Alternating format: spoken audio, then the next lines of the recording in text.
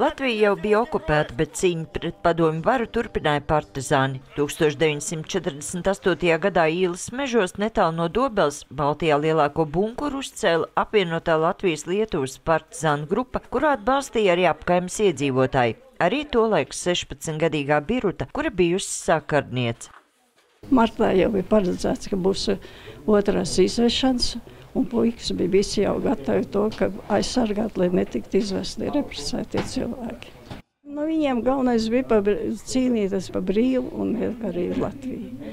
Jo... Viņi cerēja, ka tas varētu izdoties? Jā.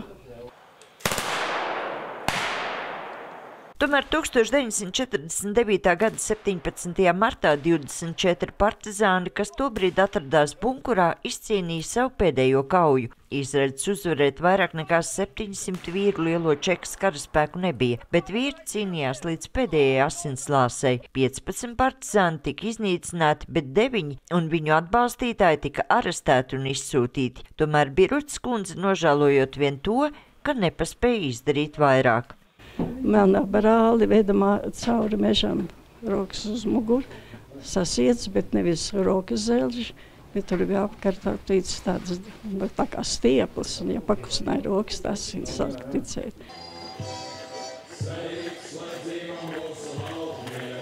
Atzīmējot Latvijas Nacionālās pretošanās kustības dienu, 17. martā pie ielas bunkura tiek rīkots piemiņas pasākums un pēdējās kaujas rekonstrukcija.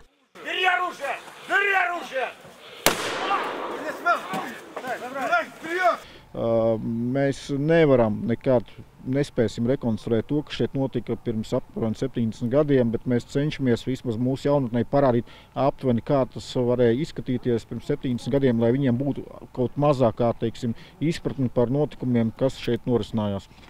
RTV uzzinātie jaunieši ar interesi izpētījuši gan bunkuru, kas mūsdienās ir atjaunots kā apskats objekts, gan noskatījušies kauju, tomēr nesot pārliecināti, ka spētu būt tikpat drosmīgi, bet noteikti atbalstīt šos vīrus. Nu, varētu pamēģināt, bet nu, tā neesmu pārliecināts.